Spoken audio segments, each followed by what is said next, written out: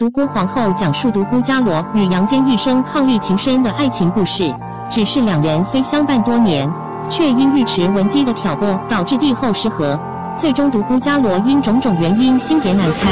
定是在一生挚爱杨坚的怀里。独孤皇后里，独孤伽罗自从嫁给杨坚后，智商在线，人生虽有跌宕起伏，却也依旧是开挂人生。直到独孤皇后大结局最后两集开启深情路线，独孤伽罗的结局太过悲惨，惹人泪奔。杨坚宠幸尉迟文姬。虽尉迟文姬自杀身亡，却也成功的引起帝后失和，独孤伽罗与杨坚之间产生隔阂，后又因被太子之事，导致杨勇难以接受被逼疯，独孤伽罗又因内疚心情郁郁寡欢，最终导致卧病在床，遗憾离世。直到最后，独孤伽罗的心里依旧挂念着杨坚，独孤伽罗躺在杨坚的怀里，回忆过往种种恩爱。女儿杨丽华听说独孤伽罗病重的消息，